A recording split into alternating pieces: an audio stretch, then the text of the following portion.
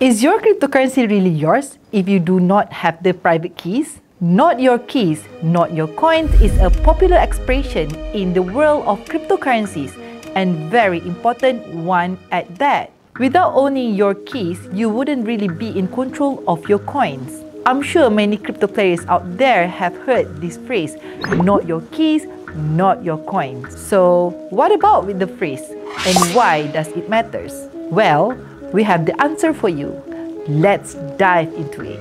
Similar to bank account numbers, cryptocurrencies are sent to a receiving address the technical terms for this address is the public key. When someone sends you some Bitcoin, they will send it to your public key. This key is absolutely important. Anyone that has access to the private key can access the funds on the public key that it's linked to. In simpler terms, a private key is similar to a password, a means of identifying you as the true owner. When speaking of not your keys, not your coins, it refers to your private key. Cryptocurrency was created in response to a money and banking system that centralized power away from the individual. With this in mind, handing over control of your funds to a third party definitely goes against the characteristic that cryptocurrency was built on. But there are also some serious practical drawbacks to entrusting your crypto funds to a third party, as this fall roughly into two categories.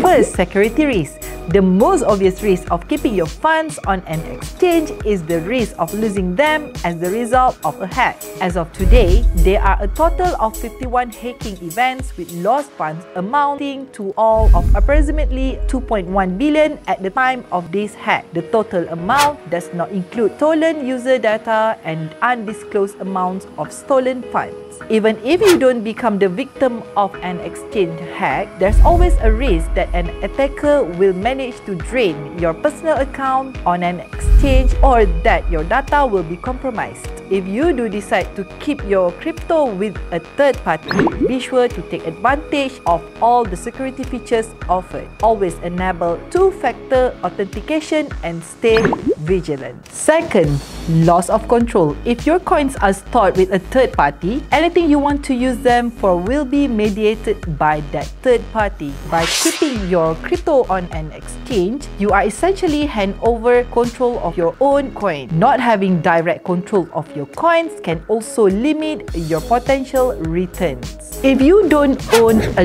lot of crypto, you trade frequently, or you are comfortable exchanging security for convenience, you may decide that keeping your funds on an exchange is the best decision for you. But if you find yourself agreeing with the not your keys, not your coins philosophy, you'll need to find another way to store your crypto.